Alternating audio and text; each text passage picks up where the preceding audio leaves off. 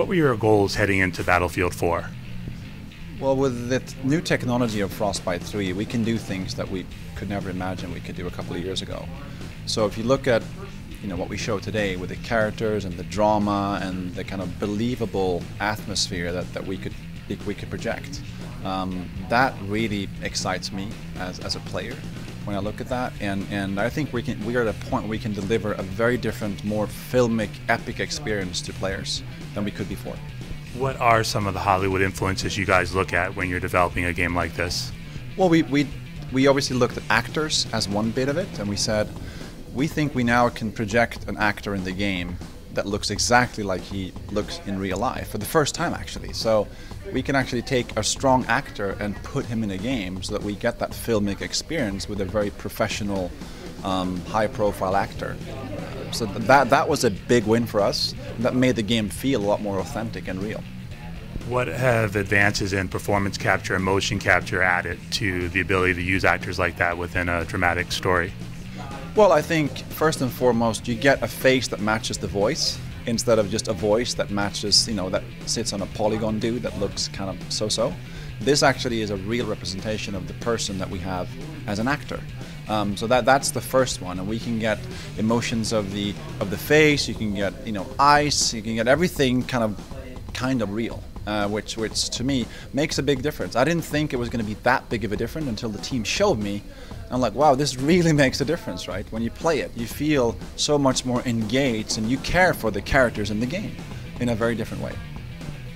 What are your thoughts in terms of this next generation technology that you guys are showing and also the next generation consoles that we'll be seeing in terms of the jump that we'll see of interactive entertainment and a more Hollywood cinematic experience like we just experienced in the movie theater today?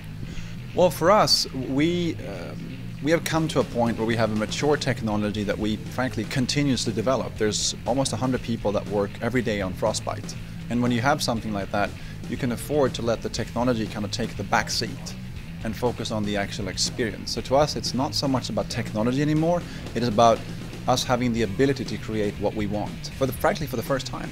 So again, emotions, character relationships, and, and drama and excitement that I think is unmatched.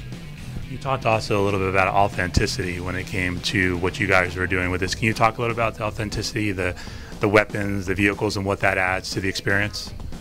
Well, I think for us, um, obviously it's a game, right? It's it's it's supposed to be an entertainment and experience, something that is fun. So yes, we have real weapons in the game, but there's still you know polygon models of, of real weapons, right? But I think to us it's not about making a copy of reality; it's about making a perception of reality, and that's kind of a big difference to me.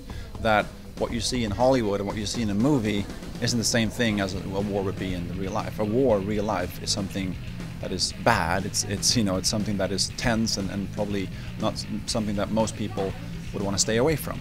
But with this, it's almost like we look at this as going back to when you played Cowboys and Indians. You know, this is a way for you to play in an environment, and if we can give you something that looks more realistic, that increases the overall experience. But still, make sure that people understand that this is a game. It's it's an entertainment experience.